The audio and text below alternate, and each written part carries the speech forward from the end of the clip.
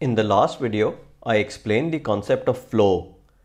When you are so engrossed in some activity that time seems to stop for you. I also said that the problem is that you are very young and hence you have not tried out enough things so you may not know what will get you in a state of flow. And that is why it is very important to not think that you that you already know you are interested or not interested in a particular thing, but try out things with a very open mind.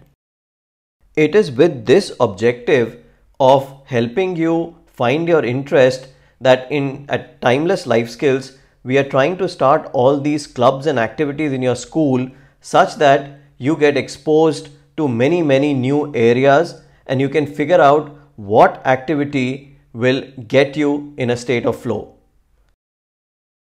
And it is with this objective of helping you try out different things and figure out what you are truly interested in that along with clubs and activities, we are also giving you challenges. Like some of you have done the water testing challenge, some of you had participated in the research and communication challenge. In our other schools and in the near future at Isha Vidya, we will do a sustainable living challenge. Sustainable living means using alternate sources of energy, conserving water, and these kind of things. And sustainable living area is something which has a huge scope in the future simply because of the kind of energy problems we are facing or the water crisis we are facing and so forth.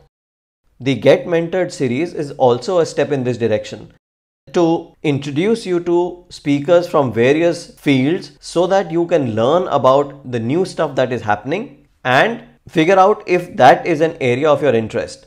Likewise, if you go to Timeless Life Skills website and you go to this page, cut to the chase, you will find interviews of people from various domains writers and filmmakers and fashion designers and dancers, a, a, rock band, somebody working in the development sector, consultants, entrepreneurs, and so forth.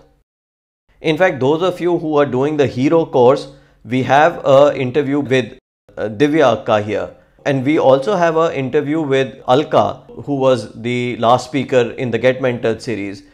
We also have an interview with uh, Vandita Akka who visited Erode School and who will be a speaker in a future Get Mentored series.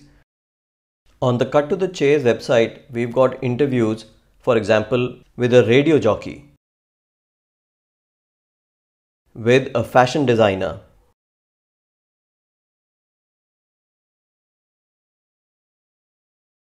with a chef, with a young media entrepreneur,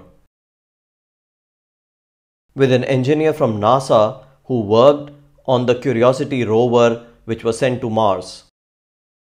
The objective of these interviews is to give you information about what that job entails so that you can think and imagine if working in that area day in and day out for a long period of time will be something you will find exciting.